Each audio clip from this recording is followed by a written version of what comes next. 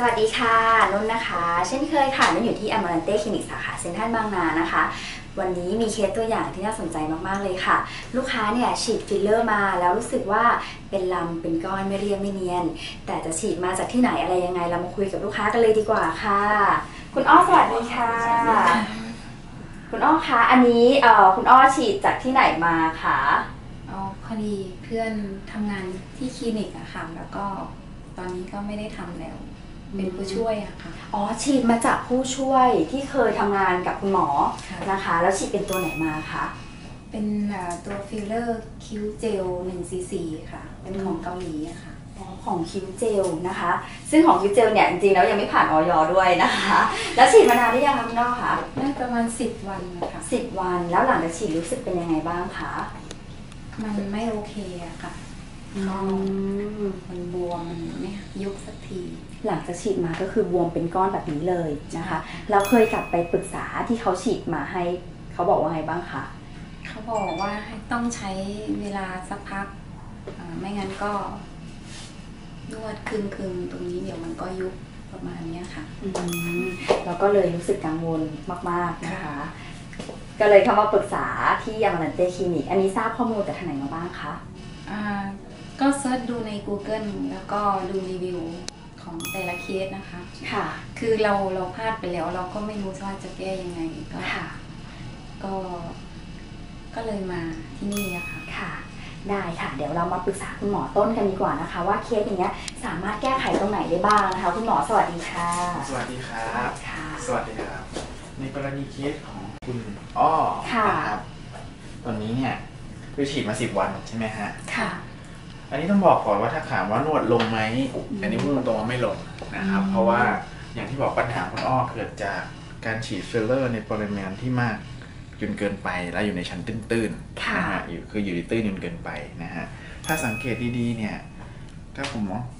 ไม่รู้ในกล้องจะเห็นหรือเปล่านะครับถ้าผมลองคลี่ออกมาดูอย่างนี้นิดนึงมันจะเห็นเป็นเงาดำๆฟิลเลอร์อยู่ข้างในข้างใต้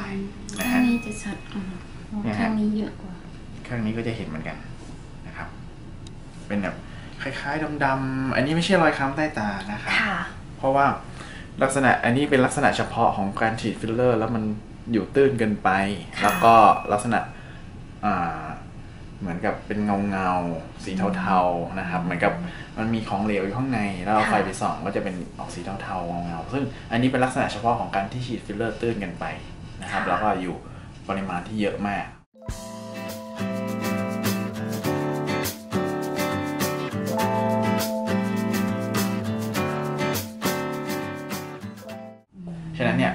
ตัวยางก็จะดูดน้ำแล้วอุ้มอยู่บนผิวเรานะครับค่ะแล้วทำให้เกิดเป็นแสงสะท้อนขึ้นมาเป็นสีเงาเงาๆหน่อยแล้วก็จะดูเป็นสีเทาๆเขาออกน้ำเงินน้ำเงินนิดนึงนะฮะซึ่งอย่างนี้เนี่ยถามว่าแก้ยังไงแนะนำให้สลายออกไปเลยดีกว่าค่ะนฮเพราะว่าหนึ่งก็คือถามว่าไปนวด IF ยิงเลเซอร์ลงไหมตอบตรงๆว่าไม่มีทางลงครับค่ะเพราะว่ามันเป็นปริมาณที่ยากเยอะเกินไปนะฮะแล้วก็ถ้าเป็นนวดเนี่ยความร้อนมันก็ทำให้ฟิลเลอร์มัน ยุบตัวเป็นบางส่วนเท่านั้นเองค่ะนะฮะแต่ว่าถ้าปริมาณที่เยอะแบบนี้เนี่ยผมแนะนำให้เอาสลายเอาออกดีกว่า ค่ะ เพราะว่าไม่งั้นจะอยู่กับเราไปนานมากนะครับ มีบางเคสที่ผมเคยรักษามานะครับ ก็อยู่มา 3 ปี 4 ปี 5 ปีที่แบบไปฉีดที่อื่นมาแล้วรู้สึกเป็นเงาเงาดำค่ะ ๆดูดูปูดๆก็รอมา 2 ปี 3 ปีแล้วก็ไม่ยุบสักทีก็เลยค่ะ มาให้ผมสลายออกก็มีนะฮะ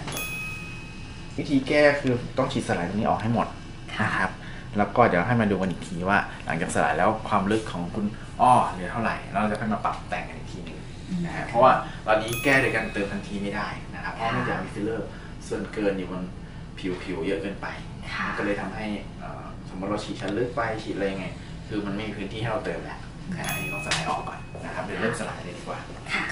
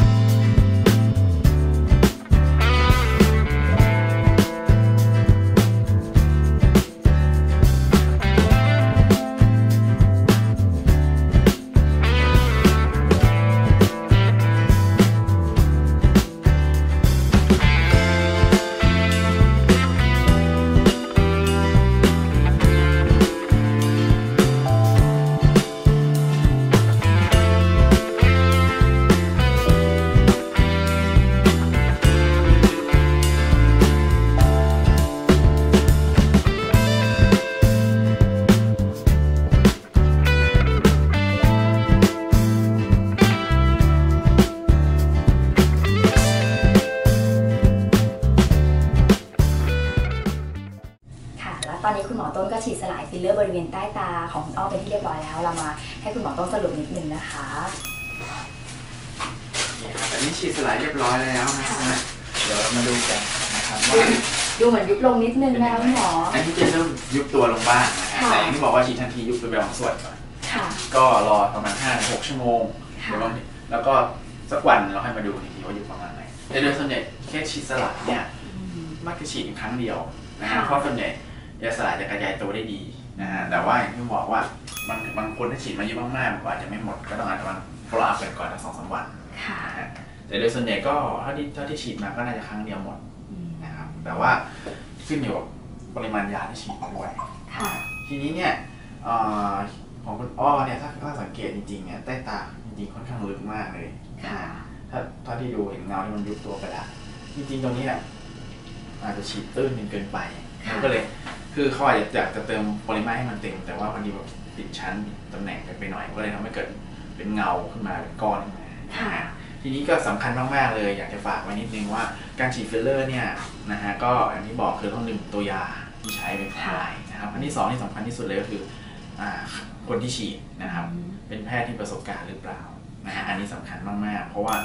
การฉีดฟิลเลอร์เนี่ยเราต้องรู้ตำแหน่งเส้นเลือดรู้ตำแหน่งในการวางยา รู้ตำแหน่งอ่า ชนิดที่ใช้ในตัวฟิลเลอร์ที่ใช้ว่าค่ะฟิลเลอร์ที่ใช้เนี่ยเหมาะกับตำแหน่งนั้นหรือเปล่านะฮะแล้วต้องประเมินหน้าด้วยว่าเราฉีด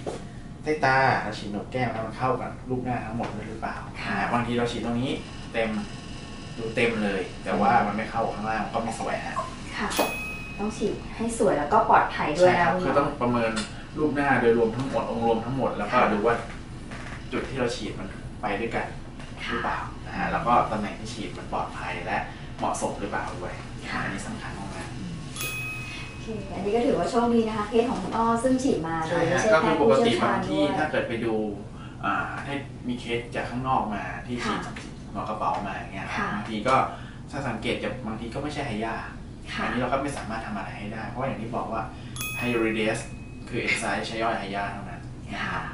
ก็ฉะฉะนั้นเนี่ยถ้าเป็นฉีดตัวอื่นมาที่ไม่ใช่ยาก็ไม่สามารถ สลายออกได้ อันนี้ของคุณอ้อก็รอให้ยุบบวมประมาณสักสามถึงเจ็ดวันแล้วก็โชคดีที่มันยุบค่ะถ้าอยากจะสามารถฉีดเติมก็สามารถมาเพิ่มเติมได้ใช่ครับค่ะโดยส่วนใหญ่ก็ใช้เวลาอาทิตย์หนึ่งค่ะนะครับแต่บางคนถ้ารีบก็อาจจะขอสักสามสี่วันละกันค่ะแต่ว่าโดยส่วนใหญ่ยาสลายเนี่ยผลเต็มที่ก็ประมาณวันหนึ่งแล้วก็ช่วงนั้นก็อาจจะรออาจจะมีการบวมบ้างเล็กน้อยได้ก็อาจจะรอหยุดบวมนิดหนึ่งค่ะนะฮะ และสำหรับวันนี้นะคะ ต้องขอขอบคุณคุณอ้อมากๆเลยนะคะ คุณอ้อขอบคุณมากนะคะขอบคุณครับค่ะ และสำหรับใครนะคะที่เคยฉีดฟิลเลอร์มาแล้วรู้สึกว่ายังไม่เรียบไม่เนียนเป็นก้อนเป็นลำนะคะ ก็สามารถเอ่อส่งรูปภาพหน้าตรงมาปรึกษากันได้ทาง 2 ช่องทางออนไลน์เหมือนเดิมนะคะ และสำหรับวันนี้นะคะ เราทั้งสามคนต้องขอลาไปก่อน เดี๋ยวเราพบกันใหม่ในคลิปต่อไปสำหรับวันนี้ สวัสดีค่ะ